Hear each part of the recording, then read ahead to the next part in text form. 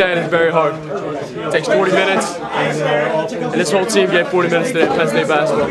You know, it, it feel good, man. You know, um, just hard, just hard work, man. You know, just going out there battling, man. You know, that, that's what we are. We competitors, man. You know, win or lose, we always want to go out there and compete, man. That's why we love the game. Give me to the It was awesome, man.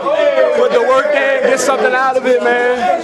I was going to get another one against Wisconsin. Uh, you know, I think it's huge. You know, just coming down to the home stretch. You know, trying to win as many games as possible. You know, we try to forget about the past and not, not really worry about the record. You know, just worry about you know the next game, and you know we, we, we got to win tonight, and finally got a road win. And now we got to move on, and you know Sunday we got Wisconsin. Take me through the start of both halves.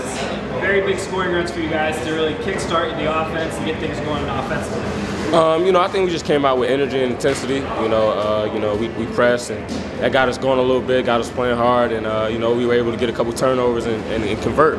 You know, sometimes we come out half slow, and uh, you know, we start off with turnovers and they make a run and things like that. But tonight, I think we, we came out and threw a punch early.